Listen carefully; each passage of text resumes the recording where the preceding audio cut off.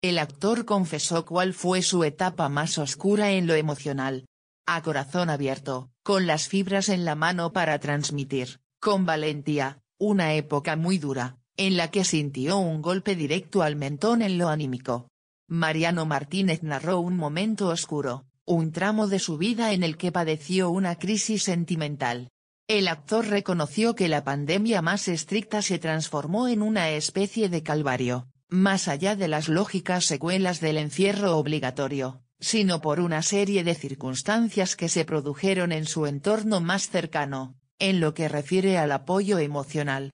A través de una entrevista con el ciclo radial Agarrate Catalina, Mariano eludió lo políticamente correcto y se expresó con total honestidad. Así, el famoso narró su problemática desconocida, la pasé muy mal, tuve momentos horribles que quiero dejar en el pasado. En cuanto a más factores que tallaron en su semblante durante ese 2020, Martínez añadió, a mí me pasó algo más personal, más propio, estuve muy mal, fue una crisis.